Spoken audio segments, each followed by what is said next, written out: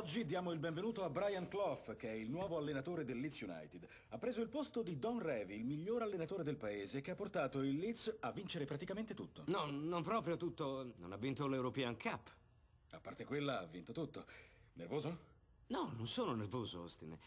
È solo che non vedo l'ora di iniziare. Questa è per lei la sfida più grande e sappiamo che per la prima volta l'affronterà senza Peter Taylor, suo assistente da sempre. Sì, Pete è a Brighton. Ha avuto l'opportunità di venire con me, ma Brighton è stata la sua scelta.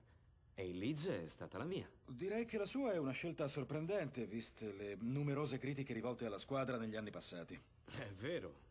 Lei ha accusato i giocatori di scorrettezze, imbrogli, dissenso, gioco falloso e ha parlato male di Norman Hunter e ha detto anche che Peter Lorimer simula le sue cadute.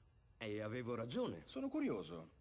Perché adesso mostra tanto fervore nel legarsi ai Leeds dopo le velenose critiche che ha rivolto loro? Bella domanda, avrei bisogno di almeno mezz'ora per spiegare ai fan questa storia.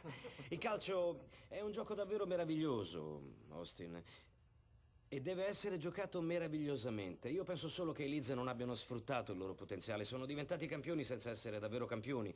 Non meritavano di indossare quella corona, non si sono fatti amare, ma questo non mi stupisce affatto. Se solo penso...